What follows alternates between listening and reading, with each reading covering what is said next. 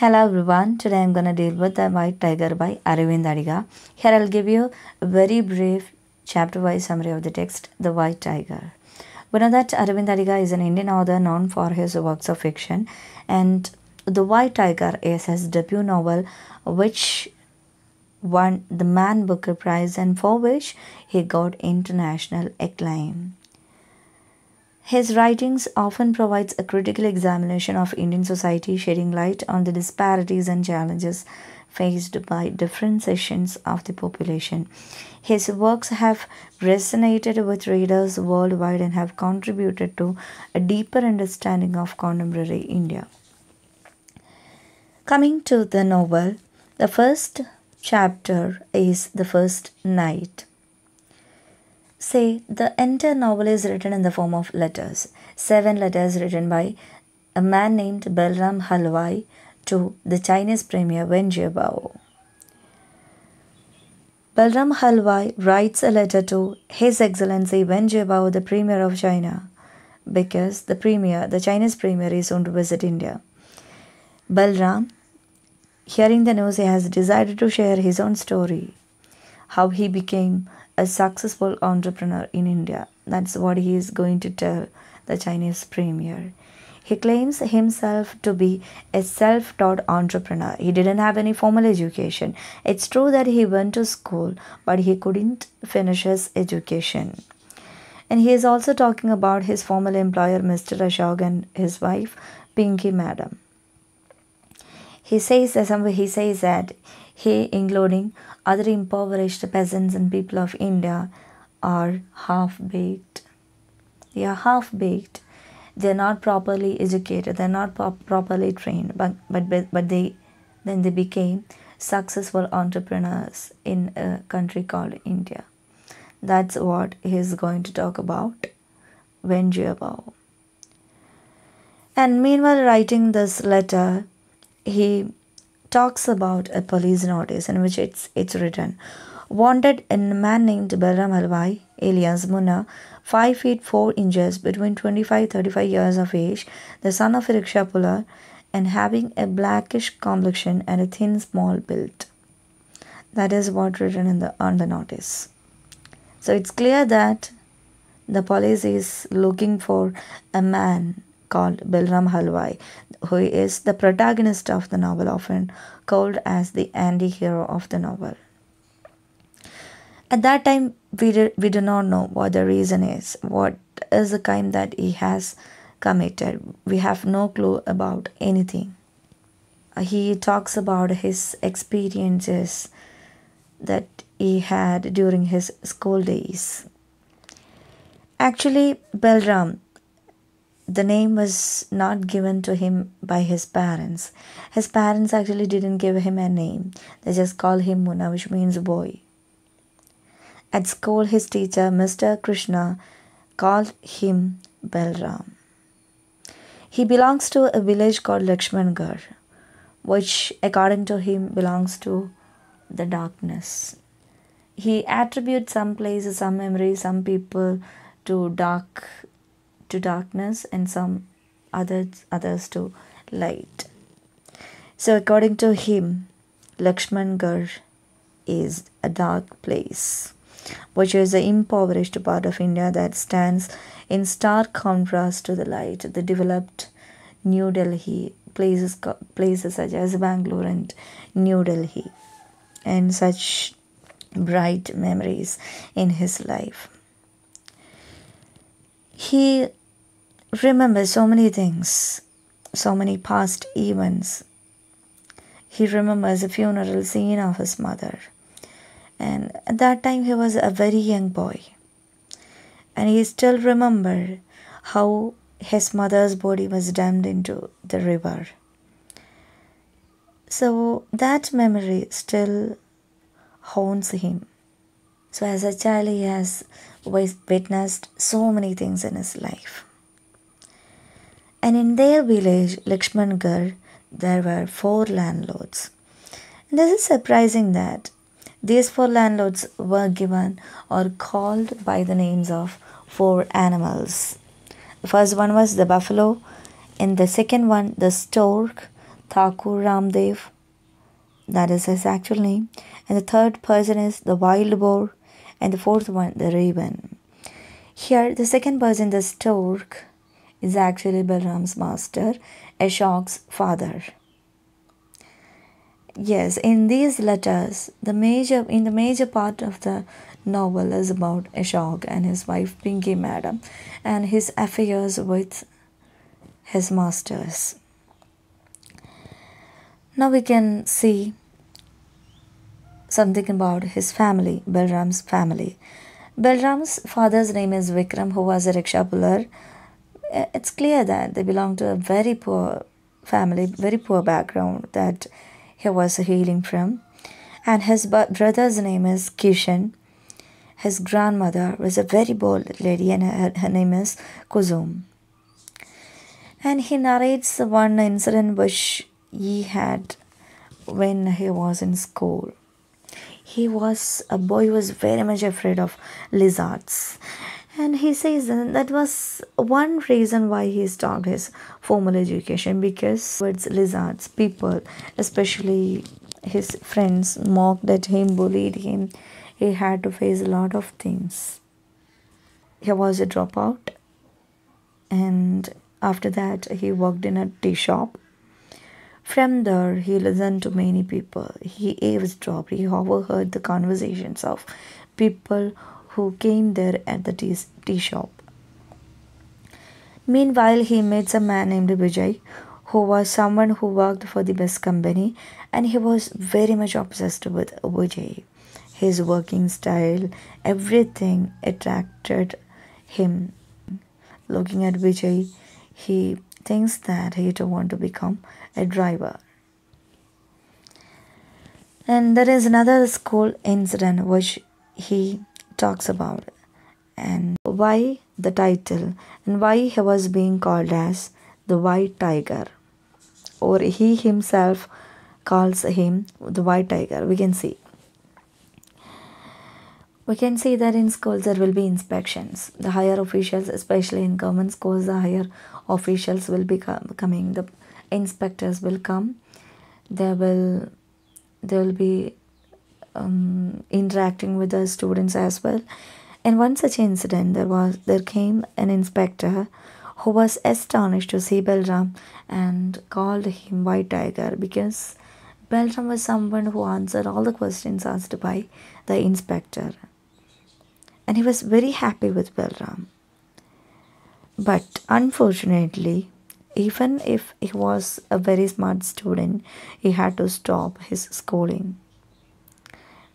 Maybe he was afraid of, maybe that might be one reason that he was afraid of lizards. He was bullied, mocked, and after that, as I said, he had to work in a tea shop. At the tea shop, he eavesdropped on conversations. He he overheard, he eavesdropped on conversations of people who came there to have a sip of tea. And that is how he learned so many things in his life. He learned new things from there. He also talks about the financial situation of the family. It was not so sound. They had to take a loan in order to send one of the girl in his family because they have to pay dowry. They have to give dowry. For that, they are taking loan from the store, the landlord.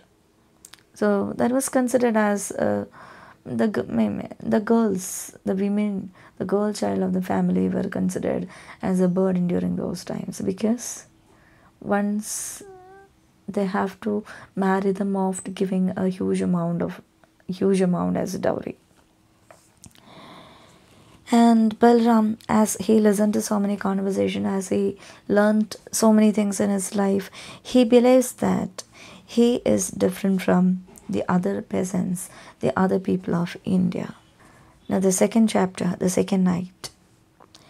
Here in this chapter, he describes his former employers, Ashok and Pinky Madam. So, Ashok is the son of the stork, one of the landlords, after Balram's father's death, he moved to the city of Dhanbad, the coal mining city of Dhanbad. His father, he narrates the tragic death of his father. He was affected by tuberculosis. They have taken him to the government hospital across the river because there was no hospitals in Lakshmangarh. Balram and Kishan had to take Vikram to the government hospital across the river. They were waiting for the doctor, but the doctor was not available. He went somewhere else, maybe doing private practice. That's how they had to suffer there. And then and there, his father dies. So he still have the tragic memories of his father and mother in his mind as a child. And keeping all this apart, he went to the city of Dhanbad. He had that wish to learn driving. He wanted to be a driver. He wanted someone to teach him driving. Though Balram finds a taxi driver interested in teaching him, the man is skeptical because Balram comes from a caste expected to be sweet makers. I'll oh, say what is that? He belongs to a caste called Halwais. Halwais are basically sweet makers. So the driver was skeptical. How come a Halwai be a driver? How can a sweet maker be a driver? That was the question in his mind. Later, he learned driving, and after that, another big question how to find a job. Balram comes from a very poor background. He went from door to door trying to find a rich household who would employ him as a driver. And thus, he ended up at Ashok's house, the Stork, the Stork's family. At Stork's house, his son Mukesh and Stock hired Balram as a driver for Ashok. Ashok recently returned from America. Ashok and his wife returned from America. Now they were looking for a brilliant driver and they got Balram now. But there was another driver. The first driver was Ram Parsad, who was given the Honda City car. And Balram was only driving the Maruti Suzuki. Balram uh, says, also, along with his personal narrative, he is shedding light on the political scenario, the current social setup of the villages in India. He says that the British rule brought chaos to the world, chaos to the nation.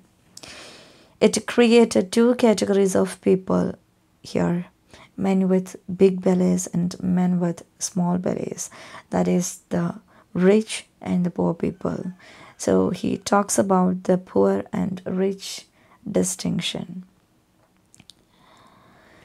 Apart from being a driver at the Ashok's household, this dog's household, he had to do a lot of other household works, household chores like massaging their feet, cooking, buying liquor for them. He had to do almost everything. But unlike Mr. Mukesh and Stork, Mr. Ashok was a very kind person. Mr. Ashok decided that he wanted to visit Lakshmangarh, which was also his birthplace. And they have chosen Balram as their driver. Balram too was very excited because he is making a grand return to his hometown. Thus, he drove Ashok and Pinky Madam in the Honda City to his village, Lakshmangarh. Both were much excited. Kishan and Kusum used to write to Mr. Balram about the news from the village. He also used to talk about the news from other news, other political news from the village. There was the great socialist, the corrupt politician who controls the darkness, the Lakshmangarh, the village with empty promises of equality. He has maintained power in the village. During election times, he would influence the people, he would get he would grab their votes, even though he was not doing anything good to them. Kusum, in all her letters, one thing which she used to say is that She wanted Balram to marry someone, but he refuses and gets angry whenever she comes up with such a talk.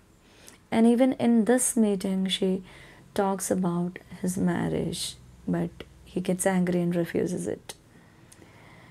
Meanwhile, in the car, Pinky Madam says that he is so fed up with the condition here in India.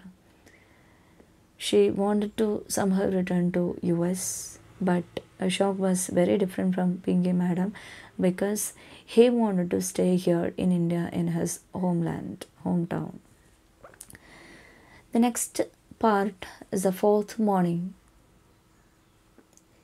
Here he writes about Indian democracy and the condition of India. It's very surprising that he doesn't even know his birthday, but during election times, he was attributed. He was uh, say he was being said that he was 18 because that was the right age for voting. Even though he didn't know his birthday, he was being marked as 18 during the times of election. It was impossible to vote out of power the great socialist, but they made plans. Oh, Ashok and his family made some plans. The great socialist was accused of many crimes. They were accused of rapes, they were accused of corruption, and so many other things. But police were not dared enough to charge any any crimes against them, any cases against them. So they made an agreement between the four lands. There was an there was an arrangement between the four landlords, and the great socialist had apparently fallen. There were some adjustments, and the landlords say that they are going to form a new party. That was actually a part of a strategy. They said that they're going to form a new party they did something. They named it All India Social Progressive Front Leninist Fraction. The new party was merely, it was actually a strategy, a tactic in order to force a great socialist to bargain. And the Stork, the Stork's family became successful in that. The other landlords became successful in that. Stork was named as a president of Lakshman branch of Great Socialist Party. Actually they didn't want to form a new party and continue in that way but they wanted to get some position in this party the great socialist party. They wanted to get a great position in in that ruling party. That is why they played this strategy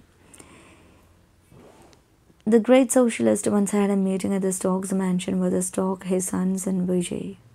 Vijay we know the, the one who worked for the best company who was also a politician he describes the great socialist as having puffy cheeks spiky white hair and thick earrings Balram used to eavesdrop all the conversations, all the discussions. One day, Balram eavesdropped on a discussion between the Stork and his sons to learn that the Stork pays bribes so that he can take all from government mines for free. Balram was caught and reprimanded by the Nepal servant Ram Bahadur. There was another servant called Ram Bahadur. He caught him. He watched Balram eavesdropping these conversations, eavesdropping on these discussions. He informs that Ashok and Pinky Madam are leaving for Delhi. Balram observes Ram Parsad, the first driver, the one who drove the Honda City car, Ram Parsad. Ram Parsad, he noticed that Ram Parsad didn't eat with the other servants. So he was very different from the other people. He secretly learns that he was a Muslim and he was fasting. Because if he said that he was a Muslim, he, wo- he won't be appointed as a driver in the Stork family casteism was very high during those times. And that is why he told a lie that his name is Ram Parsad. Actually, he was a Muslim. He might have got some other name. And Balram reveals everything to Ram Bahadur, the Nepali servant. And that is how Balram gets a upper hand over these people. Ram Parsad left the Stork service and Balram is appointed to accompany Mr. Ashok and Pinky Madam to Delhi. Balram tells the premier that he will have to turn the chandelier up because the story gets much darker from here. So there always there is always this image of the chandelier in this novel. Chandeliers, the lights, it lights up something. So he says that it's time to turn the chandelier up because the story gets, gets much darker from here. Next chapter is titled as a fourth night. Here, Balram expresses his enthusiasm for the chandeliers, the lights, which is going to light up his, his life. He describes Delhi. The real Delhi is a crazy city. Rich people live in large housing colonies there. And he says that it is, it is impossible to navigate because the numbering system follow no orderly system. The house numbers, roads, names and numbers. Nobody knows how, how to reach a particular house or flat. It was quite impossible because it doesn't follow any order or system. Nobody knows the names of roads there. But Ashok loves to live in Delhi. He thinks his wife will love Gurgaon. Delhi's most American filled with shopping malls and American corporations.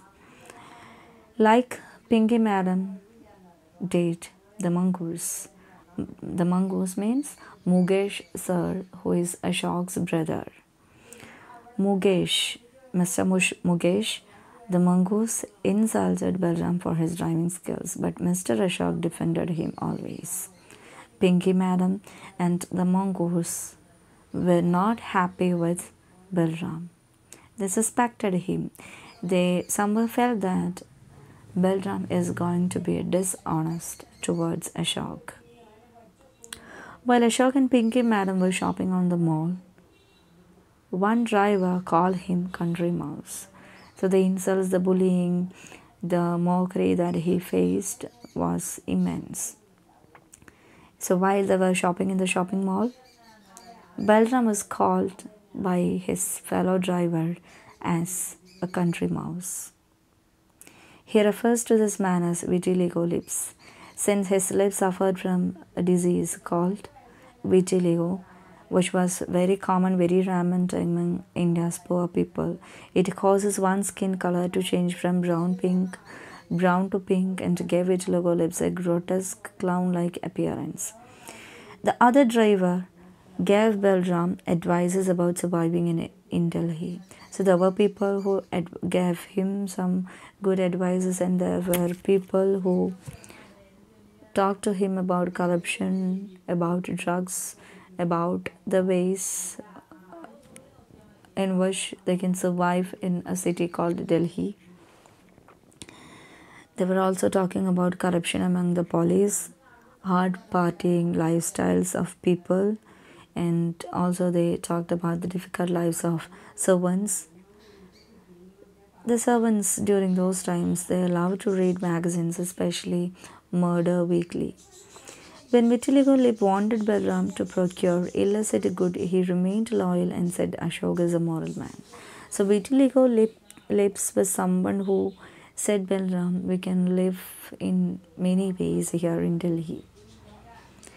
We can, you can uh, give drugs, you can sell, we can sell drugs to our masters and that's how we can earn something, we can have some extra income. But here Balram says Ashok is a moral man. He, he is never going to do such things. So I'm not interested in that. That's what his reply was. In New Delhi, they got a new apartment, Buckingham Towers B block on the 13th floor.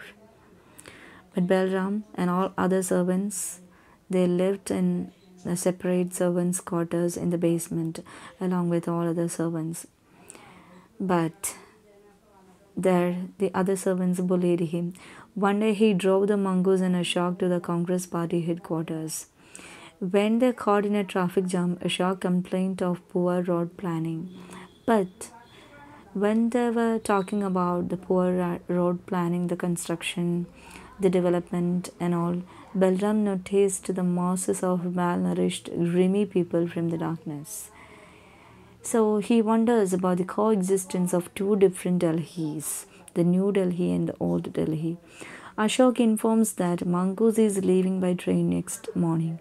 Mongoose means Mr. Mukesh sir, who is Ashok's brother. Mongoose left, Pinky started wearing revealing clothes and all. Balram gets actually attracted towards Pinky Madam. She teases him for his manners. She was always criticizing him. She was always teasing him for his manners. She and Ashok were fighting over an argument as Balram was unable to pronounce the word mole. She he might have said mal or something like that. He was not able to pronounce the word mall correctly and they both were arguing on that. One day, when Masters, Pinky Madam, and Balram were shopping, a poor man tried to enter the mall and the security guards refused him entry. He asked, Am I not a human being too? The old man, the poor man in ragged clothes, was restricted entry to the shopping mall. Due to listening to the insults of Pinky Madam, Balram decided to buy some new clothes for himself. He wanted to dress up himself as a shark. Balram was instructed to serve pizza on Pinky Madam's birthday and was mocked as he was unable to pronounce the word correctly pizza. Actually, it's not pizza, it's it is pizza. That's how it's being pronounced. Masters came out of the mall and were drunk. After the party, after the birthday party, Masters came out of the mall and they were drunk. She insisted that she wanted to drive. Being Pinky Madam insisted that that day she wanted to drive until she ran over a child on the road, presumably killing him or her. Balram quickly retook the driver's seat and took them home. So he had to save his masters there. Back at home, he removed all traces of blood and flesh from its surface. After this incident, Mongoose arrived in Delhi. Mongoose and Eloy was waiting for Mr. Balram. The lawyer then gave Balram a paper to sign. It was a confession. They wanted Balram to take full responsibility for the hit and run. They did. In the next chapter is the fifth night. Balram here uses the metaphor of the rooster coop as the most powerful image or the metaphor used by Aravind Adiga in the novel. Balram's metaphor it is the Balram, it is Balram's metaphor for describing the oppression of India's poor. Rooster coop traps hundreds of hens and roosters tightly together in foul smelling wire mesh cages. They witnesses, they know that they will kill them also. But butchers, slaughters, other kitchens, they are witnessing everything. They see everything. Others don't. But others don't even try to escape because they didn't have another option. Likewise, the servants in India are conditioned. The poor servants are conditioned. They know they know about their situation. They realize everything, but they don't make any attempt to escape.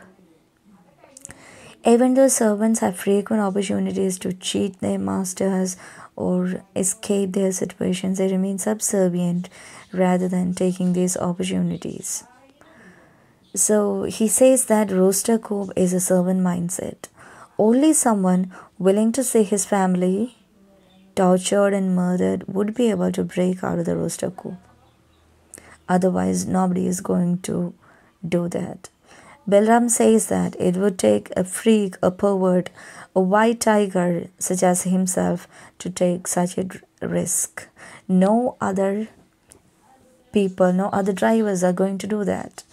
He is the white tiger. He is very bold, he is very determined, and he is having that courage to break out of this shell.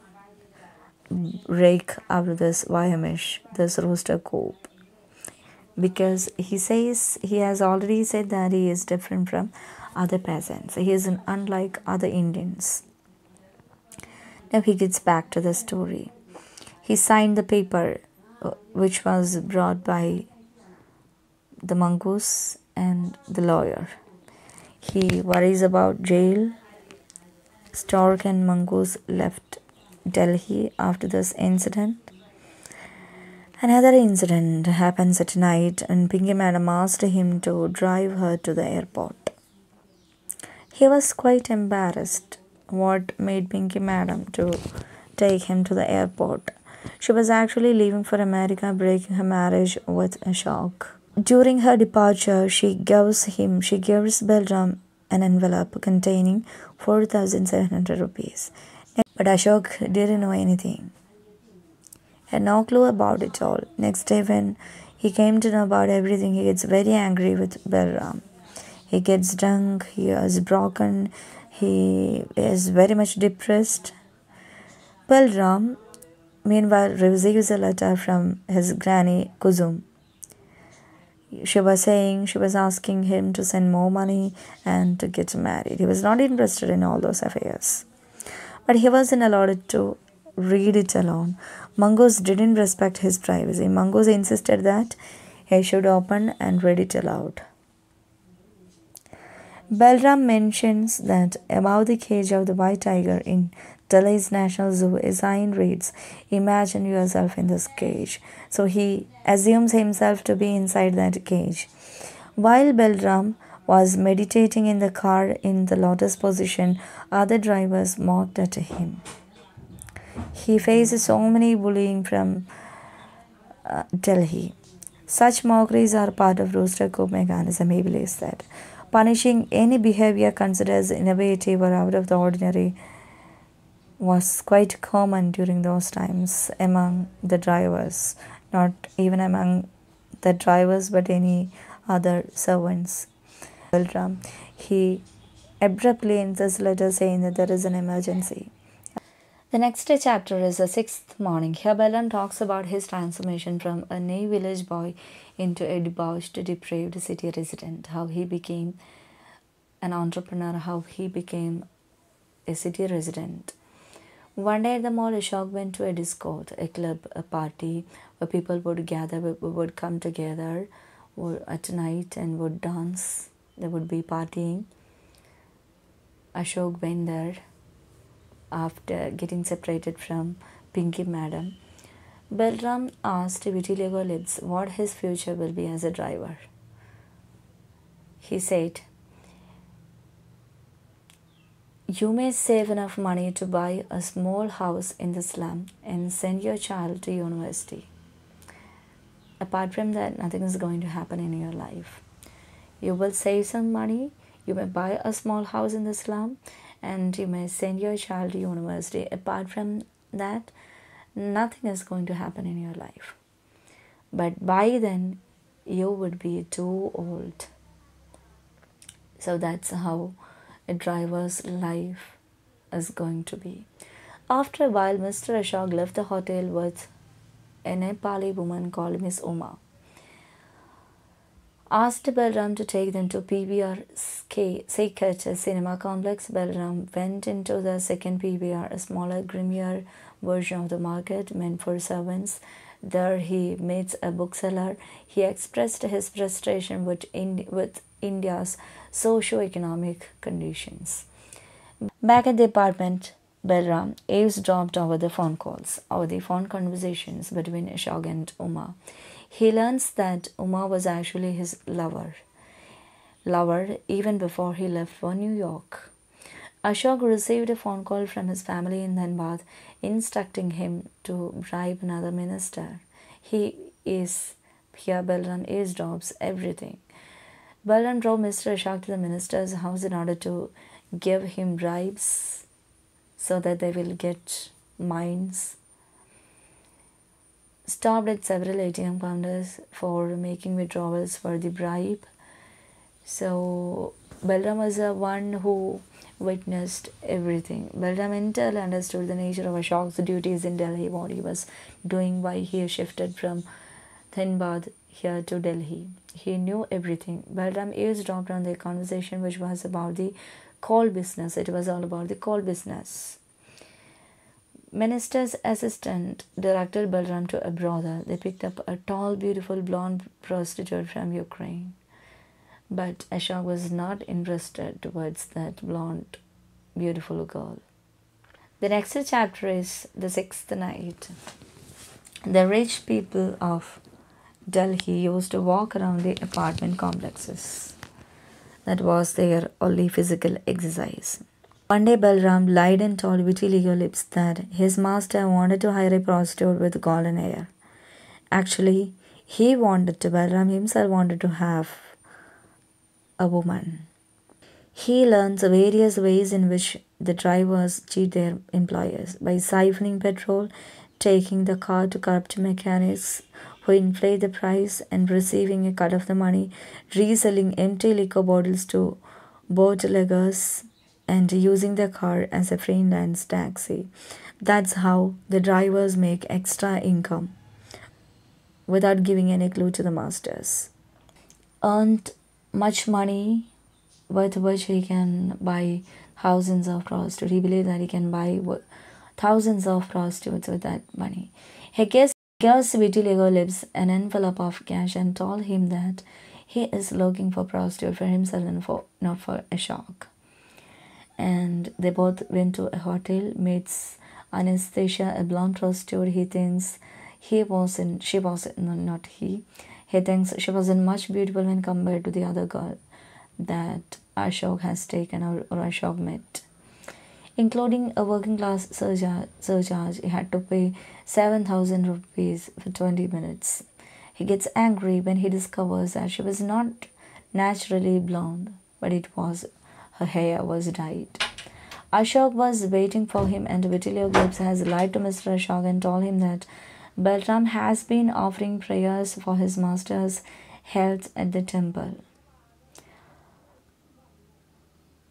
Mongoose insisted that Ashok remarry, but Ashok didn't agree to that. He gave Ashok a red back. Next day, Balram brought the red back to the car. When alone, he opened it. When Mongoose and Ashok were not there, he opened the car.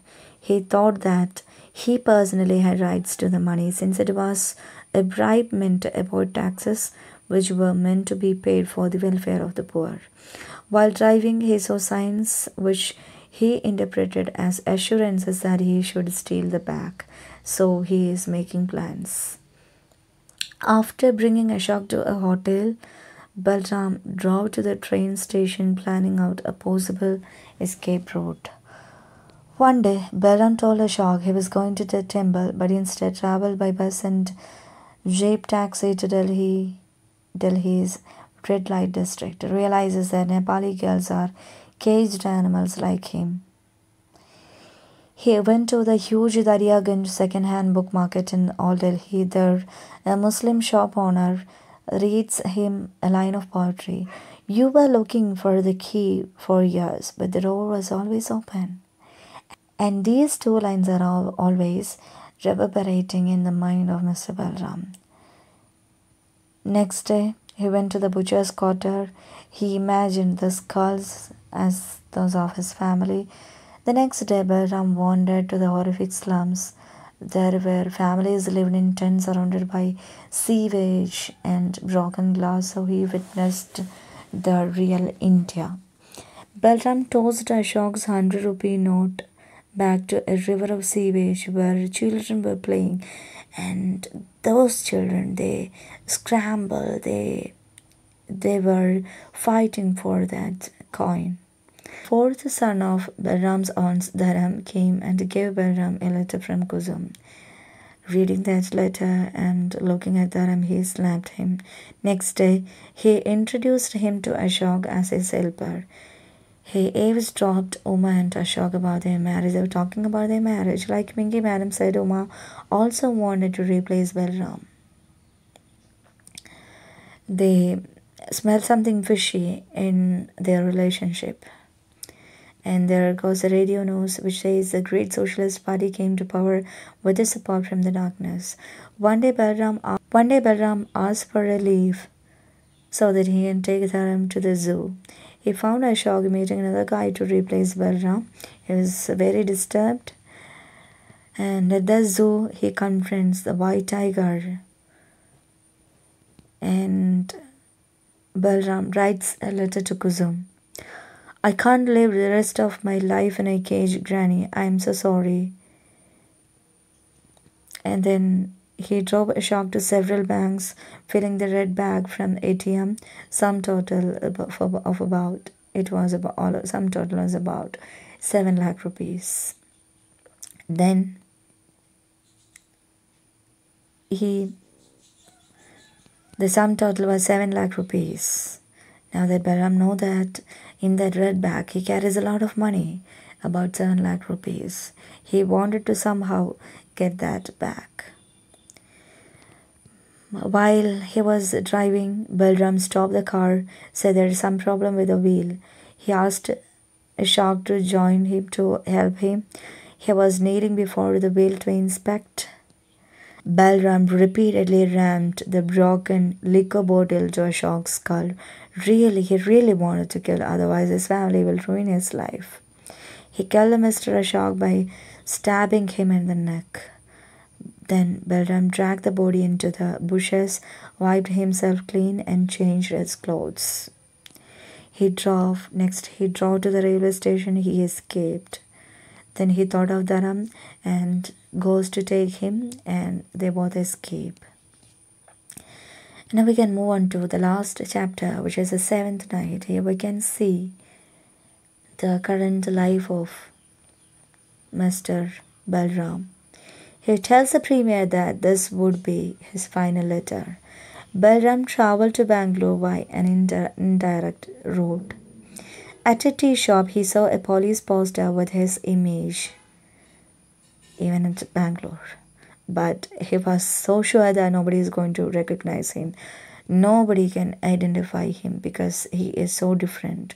The photo could be of the half the men in India, the impoverished people, the peasants, the poor villagers. He was never identified through it. It took several weeks for his nerves to calm. He is in Bangalore after a murder, and it took several weeks for him to get back to normal.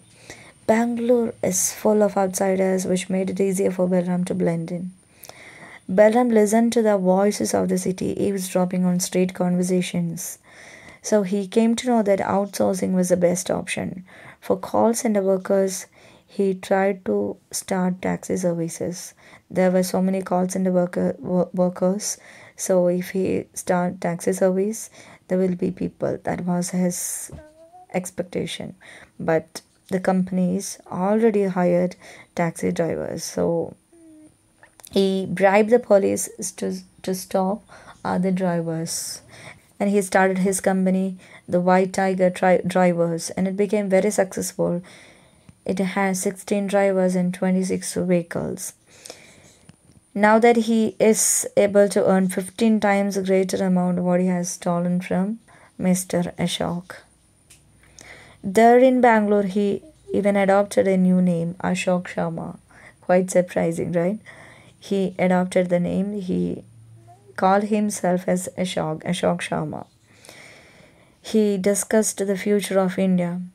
He foresees an Indian revolution. He says the revolution is never going to happen unless we are going to change. We're going to make that. The age of the white man is drawing to a close, and that the yellow men and brown men will rule the world within 20 years' time. He was so sure that yellow men and brown men will rule the world within 20 years' time. One of his drivers, named Muhammad Asif, had accidentally hit a boy riding on his bicycle. And that was one reason why he abruptly ended one letter. He says, There is one emergency and I have to end this letter. That's how he goes in one of the nights, in one of the letters. So this was a reason that one of his drivers, Muhammad Asif, had accidentally hit a boy riding on his bicycle. Balram asked to call the police. Police officer and the dead boy's mother were familiar to him. They were screaming at Muhammad. Assistant commissioner actually helped Balram. Now that Balram is a very rich person, he had a lot of money, and thus the assistant commissioner helped Balram. Then Balram visits his family, the boy's family. He visits the boy's family gives 25,000 rupees and assures a job for the remaining son. He thinks of his own family, then what might have happened to his family. After the murder, he didn't go back to his family, his village, even to Delhi. He didn't know what might have happened to those people. Will anyone would have survived the dog's vengeance?